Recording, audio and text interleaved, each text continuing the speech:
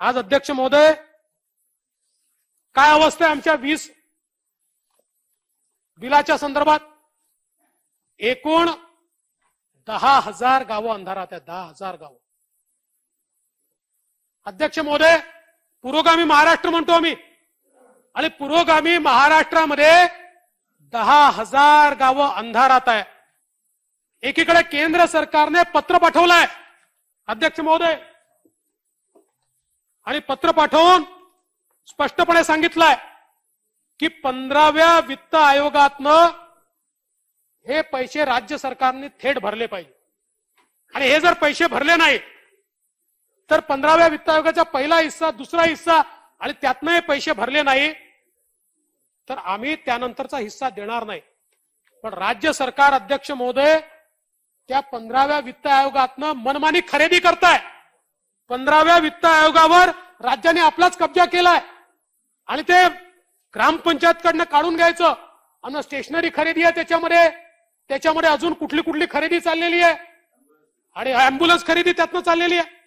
गावाचे पैसे भरा. गावाचं बिल भरा.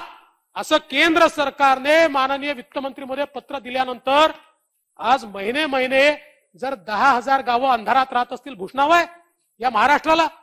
आणि काल आम्ही तुमच्याकरता थांबवली. कारण मंत्री मोर्याने सांगितलं.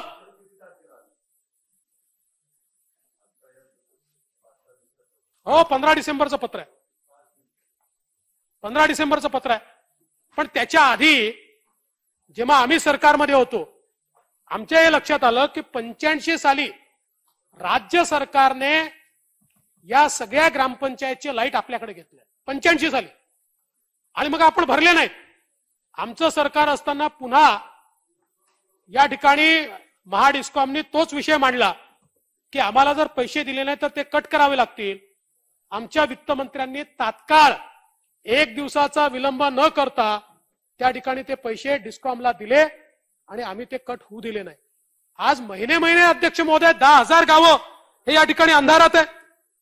आपण बघा अध्यक्ष महोदय एकूण पाणी पुरवठ्याच्या ज्या योजना आहेत यामध्ये आठ हजार सहाशे योजना या डिस्कनेक्शनमध्ये डिस्कनेक्शनमध्ये. खराब योजना नाही म्हणत. चालू योजना या डिस्कनेक्शनमध्ये बिल भरलं नाही म्हणून. आणि जवळपास अध्यक्षमध्ये चौतीस टक्के योजना पाणी पुरवठ्याच्या चौतीस टक्के योजना वीज बिल भरलं नाही म्हणून त्याचं डिस्कनेक्शन केलेलं आहे. आता महावितरणची ग्रामपंचायतीला नोटीस गेली आहे त्रेचाळीस लाख शेतकऱ्यांच्या कनेक्शन पैकी बारा लाख कनेक्शन डिस्कनेक्टेड आहे. बारा लाख. ट्वेंटी एट पर्सेंट अठ्ठावीस पर्सेंट शेतकऱ्यांचे कनेक्शन हे या ठिकाणी डिस्कनेक्ट केले आहेत. आणि अध्यक्ष नाही नाही त्या संदर्भात तर ज्यावेळी मंत्रिमंडळासमोरच याचं सादरीकरण झालं त्यावेळी या मंत्रिमंडळातले एक सन्माननीय मंत्री हेच म्हणाले होते मी चुकत नसेल तर कृषी मंत्री म्हणाले होते की तुम्ही दुसऱ्याच्या चोरीचे पैसे हे आमच्या शेतकऱ्यांवर दाखवून हे डिस्कनेक्शन करणं बंद करा. आणि अध्यक्ष महोदय या ठिकाणी एकूण थकबाकी थकबाकी सांगितली जाते. ही नेहमीच राहिली आहे. कारण आपण कंपाऊंड इंटरेस्ट दाखवतो थकबाकीमध्ये. म्हणजे आमच्या काळामध्ये मी आता माहिती घेतली अठ्ठावीस हजार कोटीची होती. मग ती एकोणपन्नास हजार कोटीवर गेली. आता तुमच्याही दोन वर्षात ती सदुसष्ट हजार कोटीवर गेली आहे. दोन वर्षात. पन्नास हजार कोटीवरनं ही का गेली? एवढी थकबाकी नाही आहे कंपाऊंड इंटरेस्ट आपण लावून ती थकबाकी वाढवून दाखवतोय. आजही मी दाव्यानं सांगतो कारण आमच्याही काळात तिन्ही कंपन्या वर्किंग प्रॉफिटमध्ये होत्या वर्किंग प्रॉफिटमध्ये तिन्ही कंपन्या. आताही आहेत. तिन्ही कंपन्या वर्किंग प्रॉफिटमध्ये येत आहेत. अध्यक्ष महोदय मुळातच आपल्याला अभिमान वाटला पाहिजे आणि आम्हालाही आहे. की देशामध्ये देशामध्ये सर्वात चांगले डिस्कॉम जर कुठले असतील तर त्या रेटिंगमध्ये महाराष्ट्राचं डिस्कॉम नंबर वन वर. आहे आपणच त्याचं अनबाइंडिंग केलं होतं आणि तीन कंपन्या केल्या होत्या. नंबर वन वर आहे. आणि अध्यक्ष महोदय अशा परिस्थितीमध्ये व्यापारासारखं वागायचं? सावकारासारखं वागायचं? असं कसा देत नाही? करतो कट शेतकरी देत नाही. करतो कट ही सरकारची जबाबदारी आहे. डिस्कॉम कंपनी आहे. कंपनी तशीच वागेल. पण ही सरकारची जबाबदारी आहे की सरकारने सांगितलं पाहिजे. ज्यावेळी आम्ही भंडारा गोंदिया जिल्ह्यामध्ये आणि एक पाच सात जिल्ह्यांमध्ये बारा तास वीज द्यायचं ठरवलं आणि आम्हाला डिस्कॉमने सांगितलं की आम्हाला परवडत नाही तर त्यावेळी आम्ही वित्त मंत्र्यांकडनं त्याच्याकरता अनुदान सँक्शन केलं आणि डिस्कॉमला ते पैसे दिले. हे सरकारची जबाबदारी आहे. जर अशा प्रकारे डिस्कॉम अडचणीत असेल तर सरकारने पैसा दिला पाहिजे. पण त्याच्याऐवजी कोरोनाने होरपळलेल्या लोकांचे बिल कट करा शेतकऱ्याचे बिल कट करा.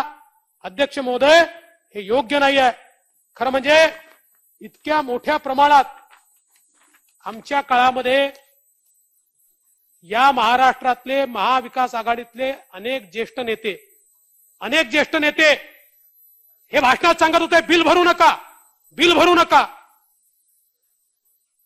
आता काय परिस्थिती आहे? आम्ही नाही कापलं कोणाचं. नाही कापलं. आणि आता मात्र सावकारी पद्धतीनं अध्यक्ष महोदय या ठिकाणी कापणं सुरू आहे. आज आपण खरं म्हणजे या संदर्भात जर बघितलं तर इतक्या लोकांचे कनेक्शन कापले गेले आहेत. आपण पहा आता या बार्शी टाकळी तालुक्यातल्या उर्मिला यादव आहेत. छोटस घर आहे.